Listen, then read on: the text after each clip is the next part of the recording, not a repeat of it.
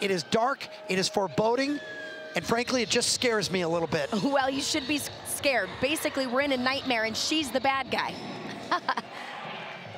we had a chance to talk to her about it. She said it's so fun because it's so opposite my personality. I get to get out here and play a character.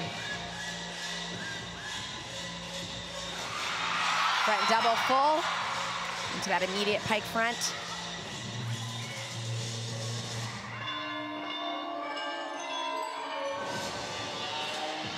She's gone 995 this year.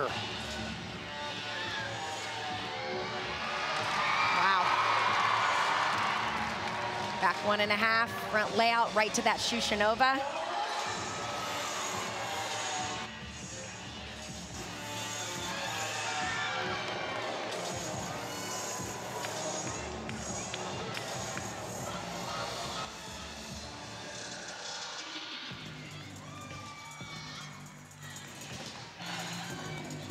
Things have changed dramatically.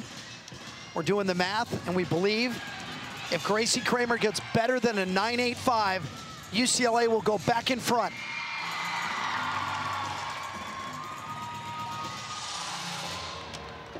Last week she got that 9875.